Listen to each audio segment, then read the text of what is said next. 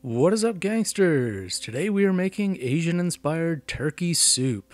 Start by adding 4 liters water to a 10 liter stock pot, add a tablespoon of salt, and drop in your frozen turkey. I'm using lower back, wings, and a drumstick.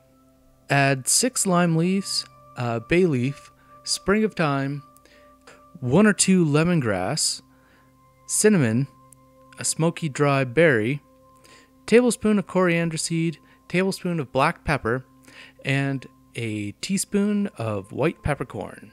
Add 2 liters of kitchen garbage, a quarter cup of fish sauce, half a cup of mild vinegar like rice wine.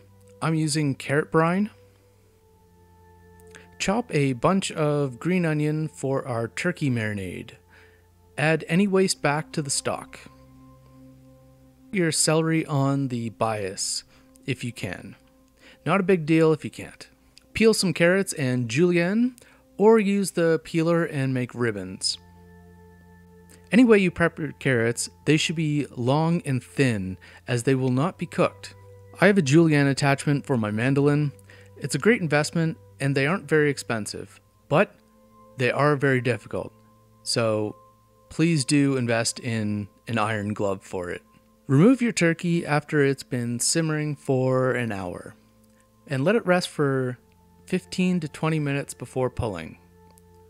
Or, you know, whenever you can handle it.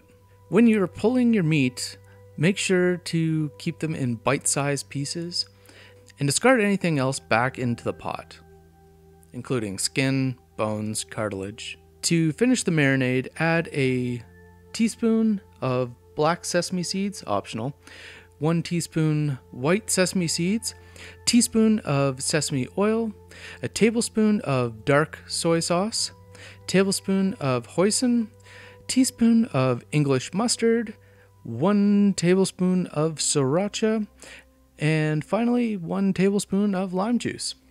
Toss the mixture with a fork to get the thicker sauces integrated. Then you can lid up and shake. I like to smell the mixture and adjust, but for you, adjust after you've had the complete meal. Pull the turkey marinade out of the fridge a few times and shake to redistribute the marinade. Like every time you have to top up the stock pot.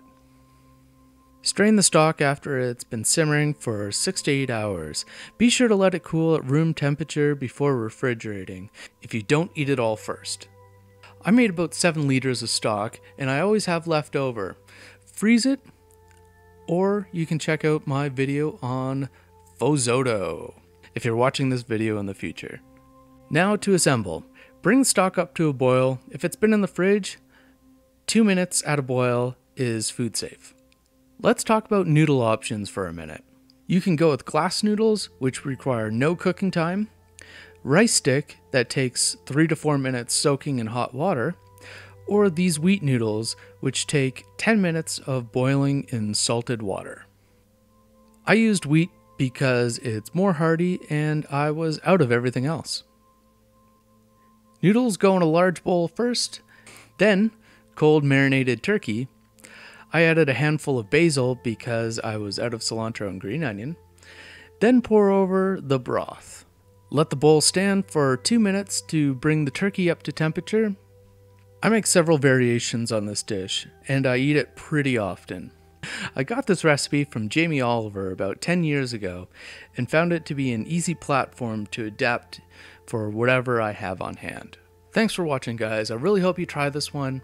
It's actually a really easy dish to make. There's not a lot of things to do. Um, it does take a long cooking time, but you're doing not a lot of work for an excellent outcome.